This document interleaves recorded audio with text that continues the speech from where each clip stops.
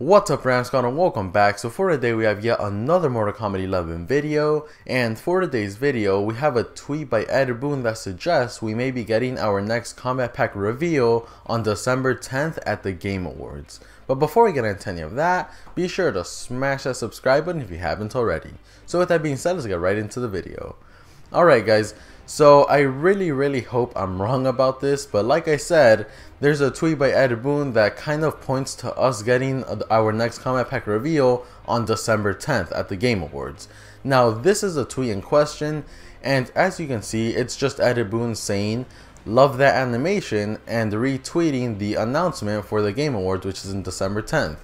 Now, the main reason why I think that something of Mortal Kombat 11 is going to be revealed at this event is because, well, if you guys don't remember or don't know, two years ago in 2018 at the Game Awards was the first ever reveal and announcement for Mortal Kombat 11 the game.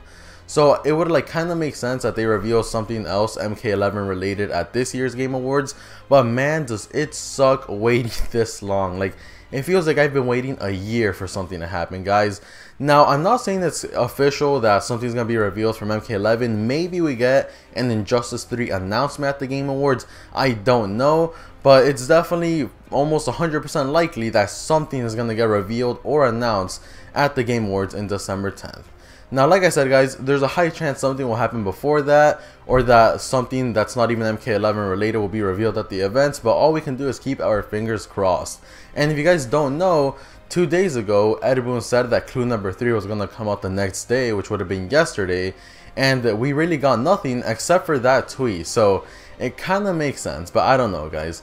Anyways, let me know your thoughts and opinions and theories about that in the comment section down below. And for now, let's get to the comments of the day. So first up we have, Nitara makes more sense according to his hints. Yeah, I've heard a lot of people say that Nitara is actually the one that Ed Boon is hinting at with his teases and clues.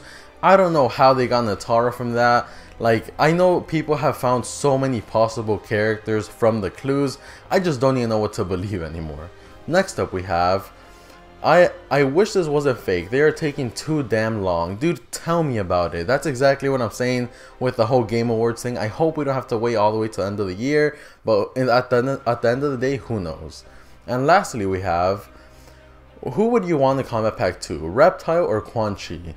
Honestly, I think Quan Chi. Uh, like, Reptile's cool and all, don't get me wrong, but Quan Chi, at least for me, seems like a more diverse character. He's like a bit funner to use.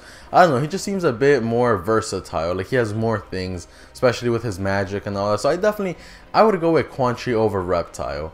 But anyway guys, let me know your thoughts on all this in the comment section down below. Other than that, thank you for watching. Be sure to stay subscribed for more videos just like this one, and peace.